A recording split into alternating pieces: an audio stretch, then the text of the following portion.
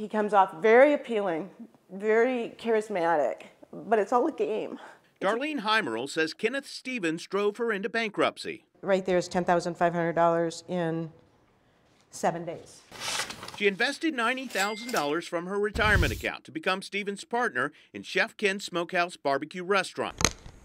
Heimerl says Stephens then used her credit information to obtain corporate credit cards, which he promised in a business contract to repay with restaurant proceeds. Within a very short period of time, uh, he maxed them all out. Uh, he had taken cash advances on all the credit cards, and there's nine of them out there. Stephens ran up $190,000 in credit card debt in a matter of months.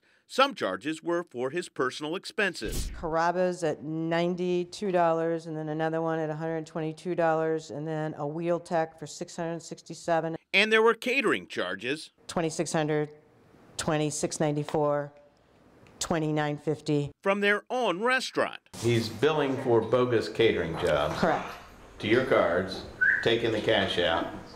Yeah, but it goes directly, obviously, to the credit card, so it's gone directly into his um, his account. But while credit card balances grew, employees say the restaurant was struggling. We didn't order food. I had to go get it from grocery stores. The store's manager says wholesale food services wouldn't do business with Stephens because he didn't pay his bills in the past. So if a customer came and bought a $40 order, I would take that $40 and go buy sausage or brisket or whatever I could get. Employee Cheryl Johnston quit Chef Ken's after her $400 paycheck bounced. I got a letter in the mail from Ann Scott saying that since I had endorsed the check, I was the one who needed to pay for the bounce check. She recorded a conversation she had with Stephens after she reported him for possible labor violations. That's up, you know that? That's up. So I don't have to say to you.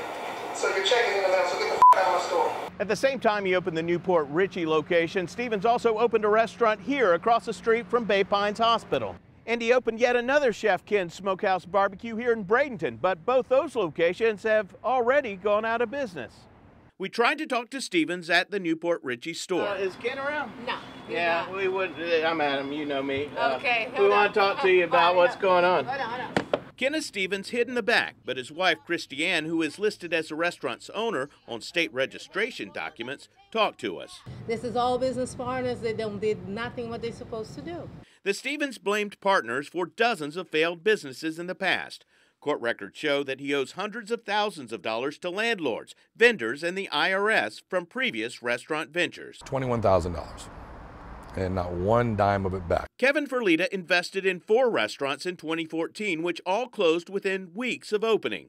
He went to police alleging Stephens misled investors, but the state declined to prosecute.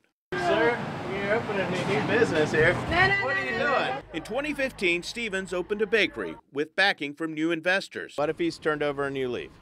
I have a feeling that he's adding more leaves to the tree. You owe people so much money. No, no, no. Come on, get out. That restaurant also closed within months. I don't want to talk to you, okay? So we better get out of my property. I'm going to call somebody.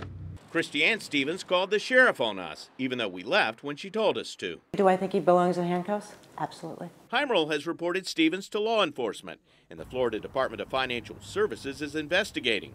Heimerl is hoping this time prosecutors will consider what happened to her more than just a failed business deal. Justice has to happen somewhere here. Because if, if, if, if, if it's not me and these other people, he's going to do it again. I'm I-Team investigator Adam Walser taking action for you.